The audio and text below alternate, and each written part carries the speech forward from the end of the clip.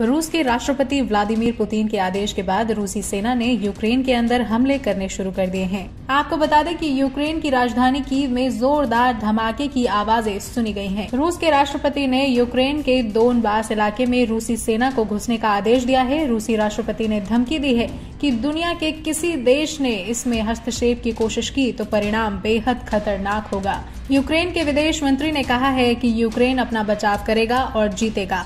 Putin ने अभी भी यूक्रेन पर पूर्ण पैमाने पर आक्रमण शुरू कर दिया है।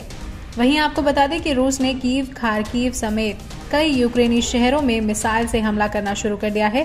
स्थिति भयावह होती जा रही है। रूसी राष्ट्रपति पुतिन द्वारा सैन्य कार्रवाई के आदेश के बाद से रूस यूक्रेन के खिलाफ और ज़्यादा हमलावर हो चुका है। ताज़ा जानकारी के अनुसार रूस की सेना ने जानकारी दी है कि उसने यूक्रेन के सैन्य और हवाई अड्डों को निशाना बनाकर तबाह कर दिया है। रूसी राष्ट्रपति के ऐलान के बाद यूक्रेन में मार्शल लॉ का ऐलान कर दिया गया है। साथ ही रूस के हवाई हमले को देखते हुए कीव में सायरन बज रहे हैं।